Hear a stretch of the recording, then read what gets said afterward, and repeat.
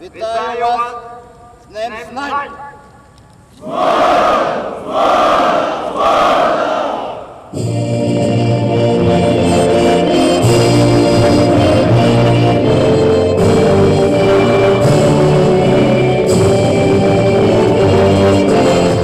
Під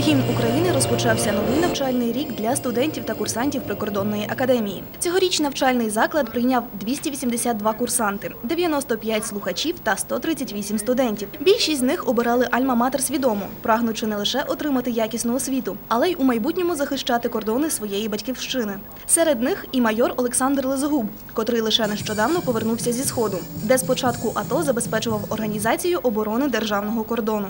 Під час здійснення цих заходів приймав участь в бойових діях, е, за що отримав е, державну нагороду, е, орден е, за мужність третього ступеня.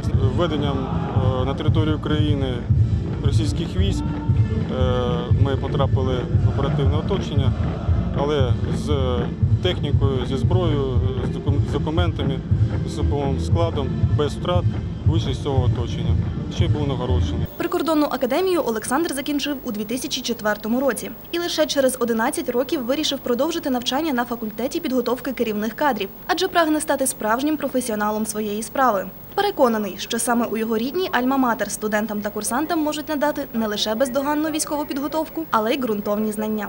першокурсникам, по-перше, вчитись, бо саме від їх знань, від їх вмінь будуть залежати, не тільки їхнє життя, а життя їхніх підлеглих та захист нашої батьківщини, наших кордонів. Привітати студентів та курсантів з новим навчальним роком прибули й почесні гості. Серед них і перший заступник голови Державної прикордонної служби України Василь Серватюк. Військовослужбовець запевняє, що професія захисника державного кордону, попри увесь ризик і небезпеку, одна з найпрестижніших. А ще надзвичайно важлива в нинішній складній для держави ситуації.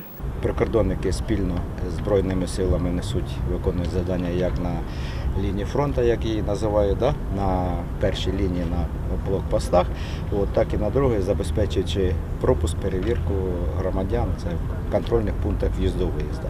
Інша ділянка українсько-російського е, кордону, вона теж не менш складна.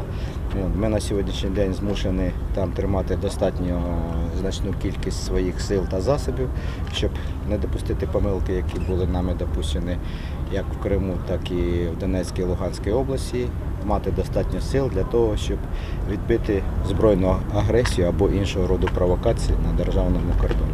Територіальна цілісність та безпека країни неможливі без надійного захисту кордону, переконують військовослужбовці. Тож підготовка професійних, відданих своїй справі та країні офіцерів-прикордонників як ніколи на часі.